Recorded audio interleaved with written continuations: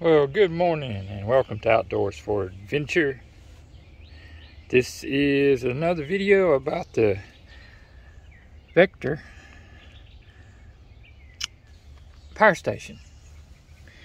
I bought the charging port cable to plug in my 200 watt solar panels that I made a briefcase out of so I can travel with them. Where's my handle? I use stainless bolts on everything and rivets, stainless hinges, and just a couple pieces of wood that I had for legs. Just riveted them to the frame. And it's been working great for a long time. Now here's the plug and the plug that I bought, red and black wire, ends to go into the solar panels. And of course it goes into the Vector power station. And it's really cloudy right now. I'm only getting two watts, or maybe 0.2 watts. But it is getting a little bit, and like I said, it is cloudy.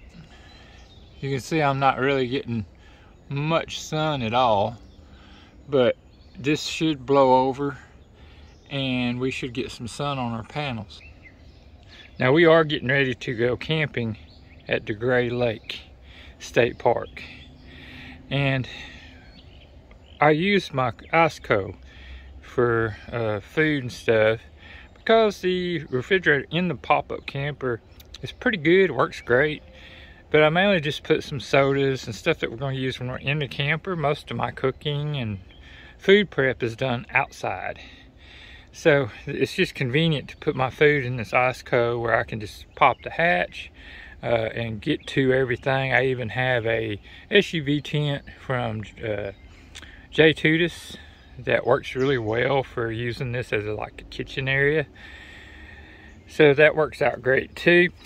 But what I wanted to do is I want to see if I can totally run this ICECO off of this power station, the Vector power station, uh, with the 200 watt solars connected. And uh, yeah, see what happens here. I've already got the ICECO plugged in. Now we're, we're going to be doing a full cool down because it has not been running. It's just been sitting in the back of the Jeep. I've already got it plugged in. I'm using the AC side. It just seems to work pretty good on the AC side there. Uh, you just got to tap. I've already got the unit on. Like I said, we're only getting two watts right now. That's going to increase a lot once we get going, or it should. And we'll check that out uh, at another time once we get some sun. But you just tap the AC. Let me see, its plugs are hot now. This swap to output power. That's going to jump up as soon as this thing kicks on. And it just kicked on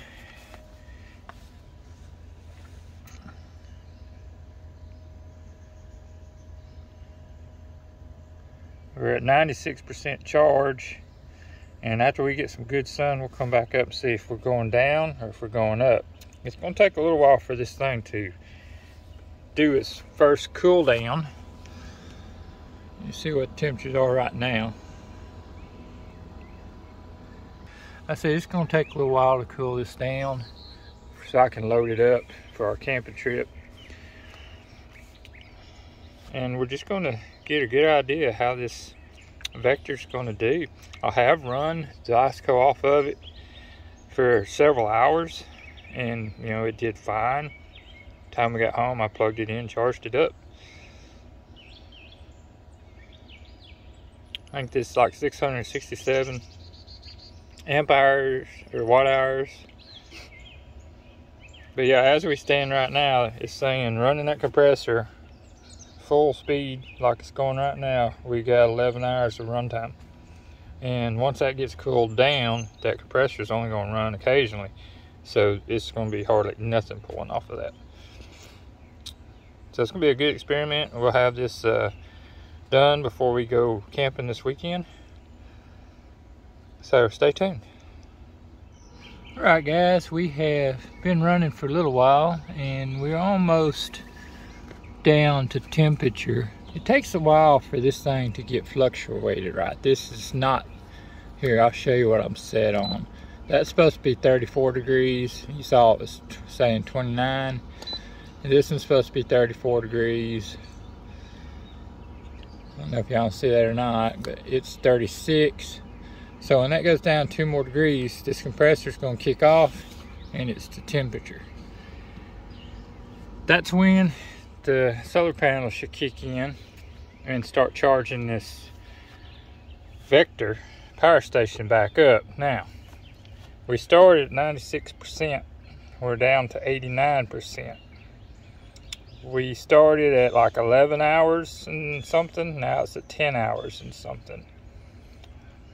Output powers I believe that would be 5.5 watts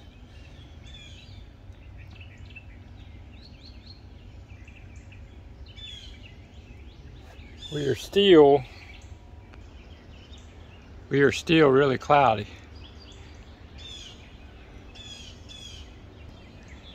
It is fixing to clear off though, and we'll get some sun.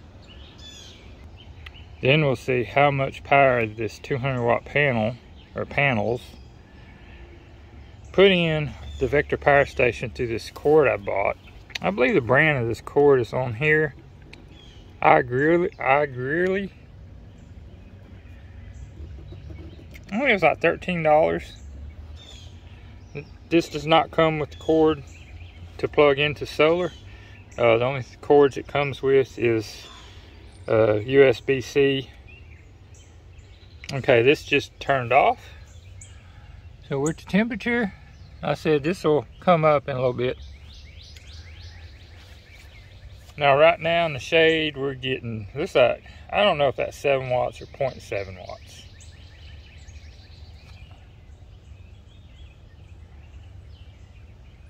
I'm thinking 0.7 watts. So we're charging, it's putting a little bit in there. And this is in cloudy conditions, so we are still getting some juice put back in the battery. And we're not getting anything. I'll go ahead and unplug this. There's nothing coming in from Jeep. That plug's not live unless the Jeep is running.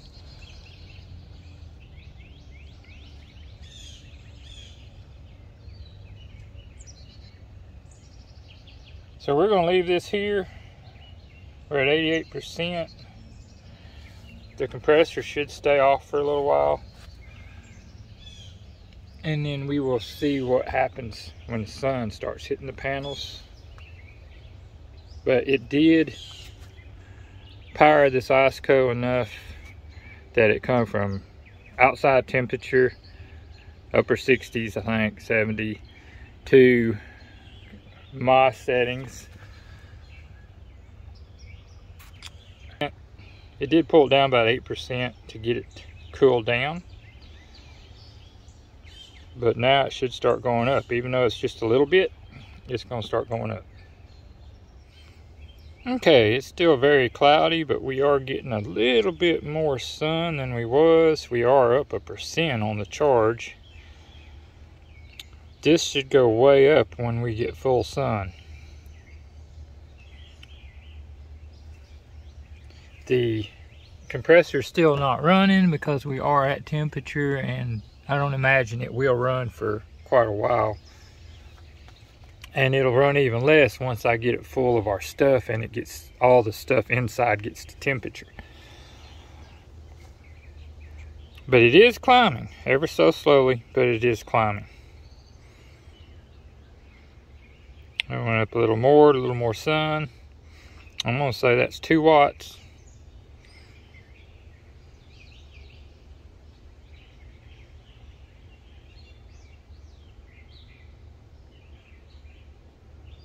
I really need to do more research and figure out what configuration or wattage is here.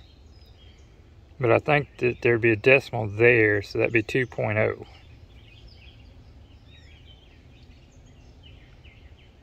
as we get more sun on the panels, we'll see how we do.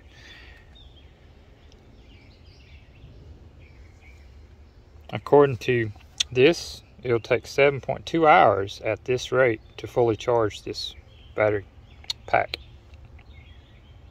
Okay, we're checking in again on this Vector power station. We're down to 83%. The compressor just kicked off on the ICECO. So we're back down to temperature. Hmm, a little bit more wattage going in, not a whole lot more. It is just super cloudy right now. But I think around 2 o'clock we're going to start seeing more sun. So we'll see what happens when we get more sun. But honestly, uh, we've got, it was 11 hours of output with the compressor running. So, I mean, we've got plenty of juice still. And if we can get some good sun, I think that's going to uh, start topping it up. We will see what happens when we actually get some sun. Okay, we're getting a little bit more sun now. We got 4.6 watts coming in. 3.5 hours till this is charged. If we could keep 3.4 hours till it's fully charged, if we could keep this type of wattage coming in.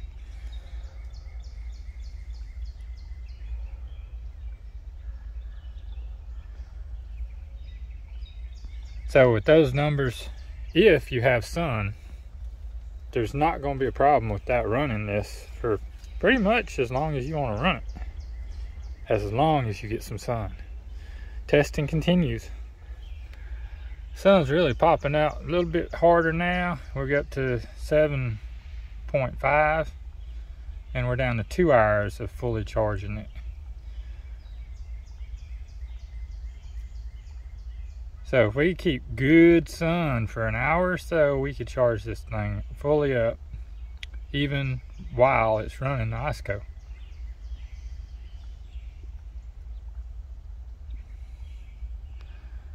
Hard for me to tell if y'all can see that or not.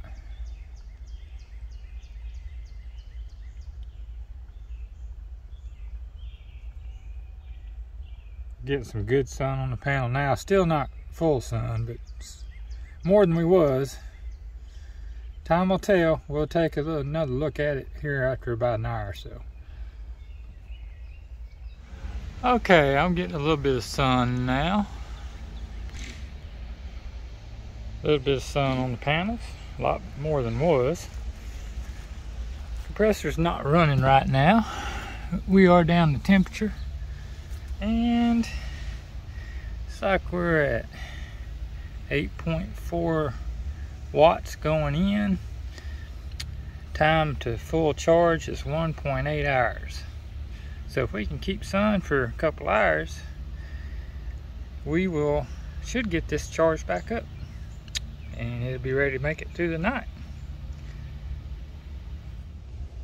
Okay, we've had some good sun on our solar panels and we went up from 82% to 84%.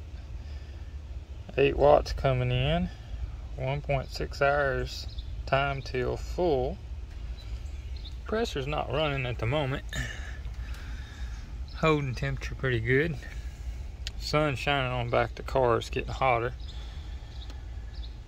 but we'll continue to see if we can get up closer to 100% before dark gets here okay we're in evening now sun's going down. Still have a little bit on the panels.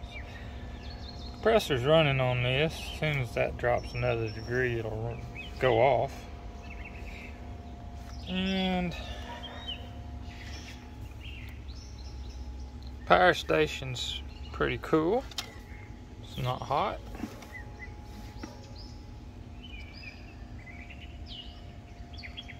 And we're pulling 6.4 watts with the compressor running.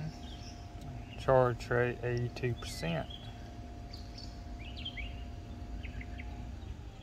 And compressor just kicked off.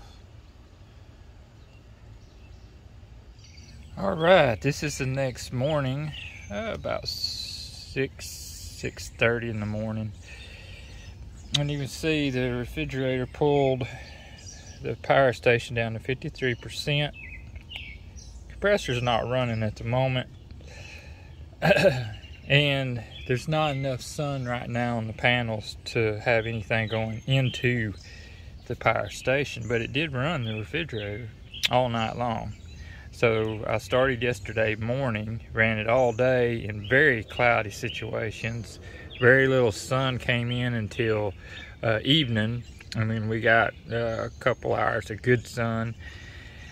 And today is supposed to be sunny, so hopefully we can bring this up to run it another night. But, you know, we did run it all day, all night, and we're in the morning now. It's trying to get some output or some input power. But anyway, uh, you know, 53%, it'll definitely run your refrigerator. You know, as long as we get sun today, we're good to go.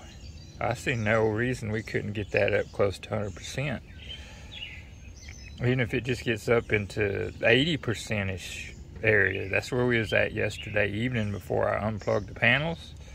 So we'll be good. And I, I do have a 12 volt plug or a 120, 15 plug, something like that behind my seats that I can plug this thing into and when we're traveling, that will charge this up. Or I can plug it into uh, there's a USB charge. You can plug this with a USB charger. But like I said, I have a 12 volt plug back there that I can plug into and it'll charge this up. I've already proven that. So yeah, uh, it'll it'll it'll run a refrigerator. Keep it going all night long and you're good to go the next day. Like I say, as long as we get sun, we're good to go. And this is made by the same people that make DeWalt, in case y'all didn't know. And I think this is a little bit more than a Jackery. And basically, after my research, it's just, it'd be like the Jackery 500.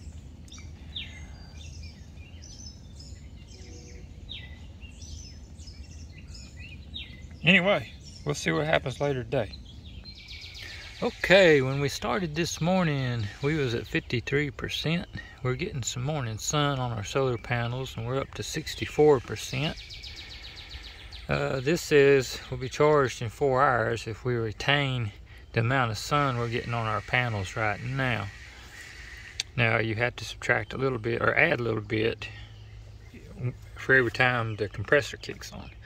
Also got my Joytutus sunshade over the refrigerator because the sun is shining on the back of the car. And when my hatch is down that keeps the sun off of that refrigerator. So it's going to help keep that compressor from running as much. But as you can see I do have full sun on the solar panels right now so the Vector power station is doing its job all right guys we are getting close to noon and we are at 74%. Compressor's not on at the moment, so uh, 2.8 hours till this will be charged.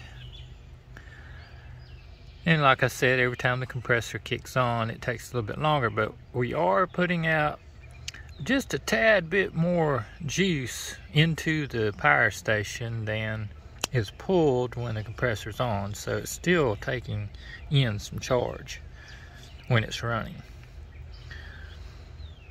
I feel confident that by the end of the day, this thing's going to be charged and ready to power the ICECO through another night. Okay guys, it's 2.30, we're at 86%. Compressor's not running right now, so we're taking full charge. And it says 92 minutes till fully charged.